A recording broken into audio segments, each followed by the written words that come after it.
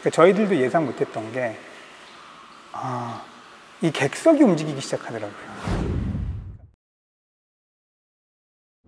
서로 우리 눈치 게임 할래요? 그러면서 1, 2 이렇게 하면서 정말 미국에 있는 워싱턴에 거주하는 객석이랑 여기 서울에 뭐 충북에 있는 뭐 객석이랑 이렇게 눈치 게임을 하고 또 자기 나름대로 놀이 문화를 발전시키고 저희 가수분들이 경력이 도합 합쳐서 220년 차거든요. 그런데 그분들이 정말 수만 번, 수, 수만 번의 콘서트를 하셨던 분들인데 되게 특이하다고 오롯이 어떻게 응원하는지 진짜 응원한다는 감정을 그대로 다 느낄 수 있다고 하더라고요. 객석들에 진짜 그 눈빛을 계속 쫓아가다 보면 아, 한순간에 가사를 잊어먹고 한순간에 리듬 놓치게 된다고 이 랜선 콘서트를 하면서 느끼게 된 게 한마디로 표현하면 아 언택트가 만들어낸 새로운 텍트 그때까지 했던 거는 거의 아티스트의 역할이 한 90이고 객석이 10이었다면은 이 랜선 콘서트는 거의 저기